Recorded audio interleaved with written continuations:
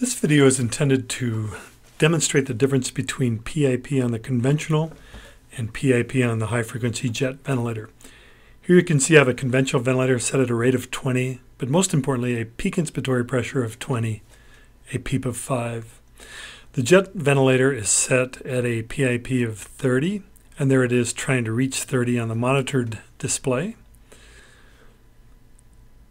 So the important part of this demonstration is that the jet is delivering a peak inspiratory pressure of 30 while the conventional is delivering only 20. When I show just the conventional breaths by themselves, you can see very aggressive bubbling out of the leak that I created by removing one of the balloons from my test lung.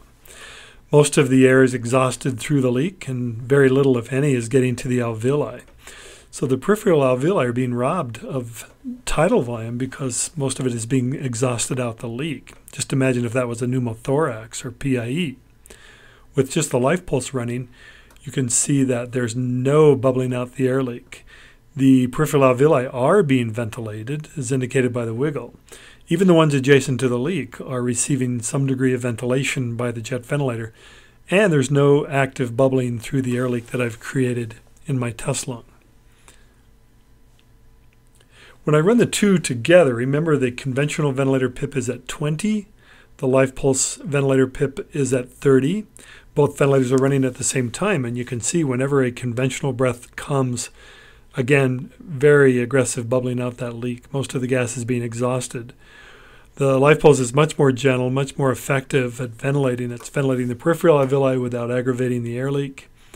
Uh, so this is very important when, even with 10 centimeters of water more pressure, the jet ventilator is more gentle. So you will have to give a few sigh breaths if you're doing a temporary recruitment maneuver to reverse atelectasis, but you can see why it's so important to get rid of those conventional breaths once the lungs have been recruited and PEEP has stabilized inflated alveoli. The moral of the story really is that raising the jet PIP or the high frequency jet ventilator life pulse PIP is much safer and more effective than raising the conventional mechanical ventilator PIP.